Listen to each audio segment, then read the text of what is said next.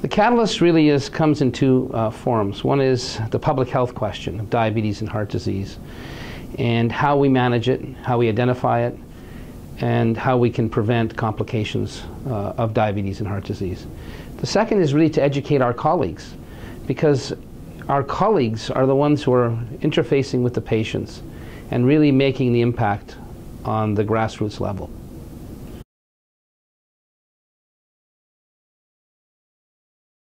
In Canada currently, I think the most important issues, number one is that it is an epidemic. It's not an emerging epidemic, but in fact an epidemic uh, whereby we have over 2 million individuals with diabetes and probably another 2 million or more who have pre-diabetes. And so if that pre-diabetes continues to accrue and become and convert to diabetes, we'll have really a true public health dilemma. The second thing is that diabetes care is very fragmented in Canada where blood sugar and all of the main diabetes care is provided by diabetologists and primary care docs. But in fact, it's the other doctors who are part of the care of these patients who feel disjointed. And I think it also goes in the other direction, where the diabetes community feels disjointed from the cardiovascular and vascular community. So it's bringing people together that I think is a challenge.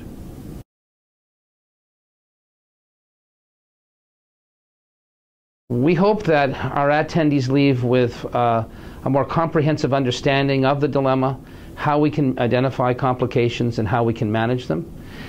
I hope that people will know that when they have a patient with a diabetic complication, that they know who to turn to, and that other disciplines, whether they be cardiologists, dietitians, physiotherapists, and others, will be there to care for their patients. And I think that's what we really want to talk about is coordinated care, which is one of the themes of the Peter Munk Cardiac Center.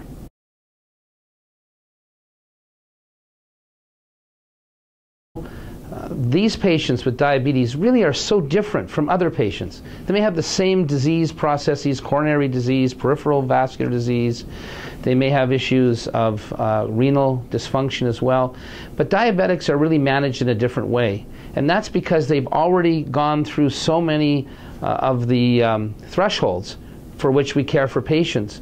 We try to get involved in their care very early on and then be more intensive as their disease progresses, whether it be kidney disease or heart disease.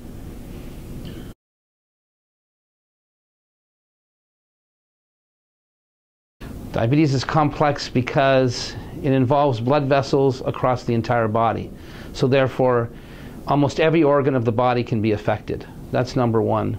Number two, it's a process that's very aggressive and one that occurs sometimes asymptomatically.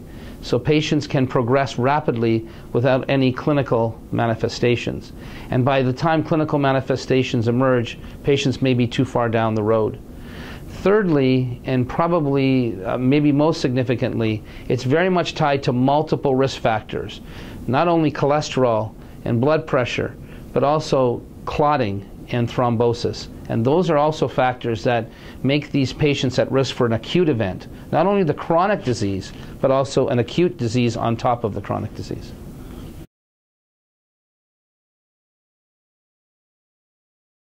So an epidemic not only deals with the prevalence of a disease, but the patterns of developing the disease. So if you go back 20 years ago, the rates of developing diabetes were less than half of what they are now. There are very few disorders in the history of mankind that have evolved and developed as rapidly as diabetes. So that's why we call it an epidemic. It has to do with the rate of increase in the incidence of the disease. More importantly, because it's a chronic disease, these individuals will be cared for for many, many years. And so we have to develop new strategies in our healthcare system to meet these challenges. There, it's not just you know, like an infectious disease that we can just treat with an antibiotic, and some people will resolve and others won't. In this case, it's a, it's going to go on for many, many years, and people are developing the disease much younger. So I think it's the rate of increase in the prevalence of disease, and also the declining age of onset of diabetes now into teenage years, where we have teenagers uh, being exposed to this, this uh, chronic disorder.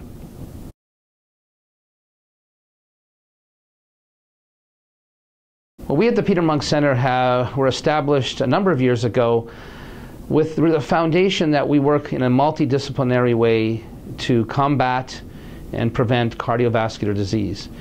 Our in institute and our center uh, really uh, compiles people from various disciplines, all the way from cardiology to vascular surgery to interventional radiology to radiology itself and to psychology.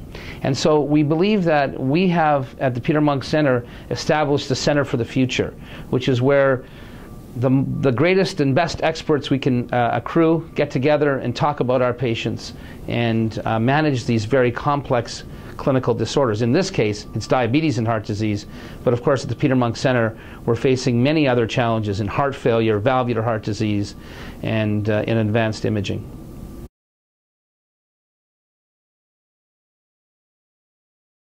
I think it's a disease of our lifestyle meeting genes. So we have genes that set us up from our family, and we inherit these. They are inside of us, and then the environment triggers the development of the disorder. And so it really has to do with the obesity epidemic, is strongly linked to diabetes, as is the, uh, the whole idea that we have a sedentary lifestyle. People play on their smartphones and, video games. Kids are not out playing as much as they used to, uh, and they're not as active. And I think it also revolves around a psychology. Um, and one of the things I like to talk about is that you know families don't eat dinner together, for example, anymore. People eat on the run.